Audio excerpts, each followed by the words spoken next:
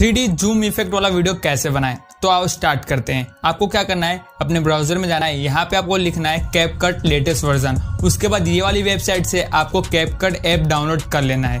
ये डाउनलोड करने के बाद आपको क्या करना है? प्ले स्टोर में जाना है और यहाँ से आपको टर्बो वीपीएन ये ऐप इंस्टॉल करना है। अब आप पूछोगे क्यों? क्योंकि कैप कट हमारे देश में बैन है, यानी इंडिया में बैन है। इसीलिए इसको चलाने के लिए हमको वीपीएन की ज़रूरत पड़ेगी।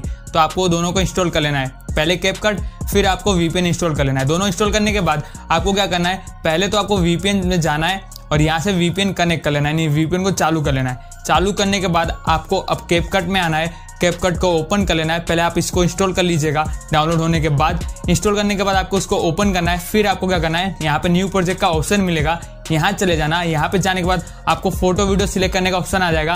आपको जैसे रील बनाना है या फिर जैसे थ्री इफ़ेक्ट वाली वीडियो बनानी है, वैसे आप बना सकते हो। फ़ोटो में जाना यहाँ पे ऑप्शन मिलेगा। और जो जितनी फ़ोटो चाहिए होती है सिलेक्ट कर लेना। उसके बाद आपको डन कर लेना है। अब आपको क्या करना है? सिंपली एक फ़ोटो पे क्लिक करना है। और उसके बाद आपको कुछ ऐसा इंटरफेस मिलेगा। इसको थोड़ा स्लाइड करना है। और स्टाइल का ऑप्शन मिलेगा। इसके ऊपर क्लिक कर लेना। फिर आपको थ्री इफ़ेक्ट वाला ऑप्शन मिल जाएगा। लेकिन रुको रुको, थोड़ा रुको। उसके बाद वीडियो छोड़ के जाना। बहुत लोग चले जाते हैं। तो रुको। थ्री इफ़ेक्ट वाले ऑप्शन पे क्लिक करना है तो थोड़ा टाइम लगेगा। थ्री इफ़ेक्ट अप्लाई होने में आपकी फ़ोटो के ऊपर। जैसे अप्लाई हो जाएगा, फिर आपको नेक्स्ट वीडियो पे नेक्स्ट फ़ोटो पे अप्लाई करना है। तो नेक्स्ट फ़ोटो पे टैप करना। उसके बाद वापस से अप्लाई करना, फिर नेक्स्ट फ़ोटो पे टच करना, फिर वापस से अप्लाई करना, ऐसे अप्लाई कर सकते हो। और अगर आपको वीडियो अच्छी बनानी है तो आपके लिए एक छोटा सा टिप है मेरे पास। टिप ये है कि आप अपनी फ़ोटो का साइज़ यानी ड्यूरेशन आप 0.5 सेकंड से लेके 0.10 सेकंड तक रखो, यानी 0.5 सेकंड से लेके एक सेकंड तक रखो तो आपकी वीडियो बहुत अच्छी बनेगी। आप एक बार ट्राई करना मेरा टिप और आप अलग अलग तरीके से बना सकते हो। आपको पता होगा कि कैसे बनाना है। मेरा काम था आपको बताना कि कैसे आप इसका यूज़ कर सकते हो, कहाँ से यूज़ कर सकते हो